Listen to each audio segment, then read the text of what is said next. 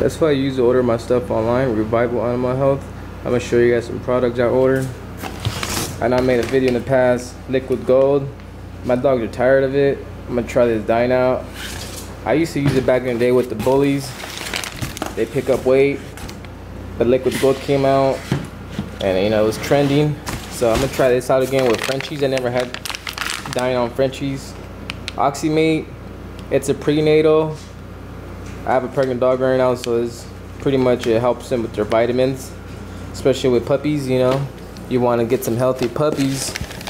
Even postnatal, these are Oxymamas. Good stuff I heard, so they'll help them lactate. That's one thing Frenchies. Uh, if you get one that don't lactate milk, you would have to take her into the vet and give her some shots, so help her lactate.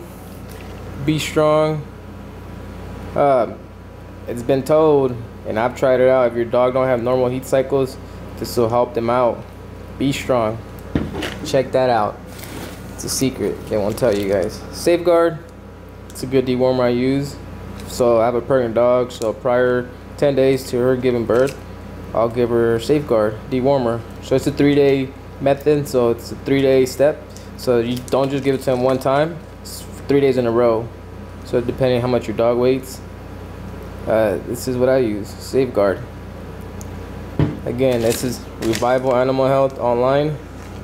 They got a bunch of good stuff. You guys want to check them out. They'll help you guys out. You guys can even call online a call or I usually just online. I already know what I want but they help you guys out. So some stuff I picked up. I'll let you guys know how the Dyne works with my Frenchies. Like I said I use liquid gold. I'm not biased. You know I'm open to whatever it is that help my dogs especially in the summertime. They eat less.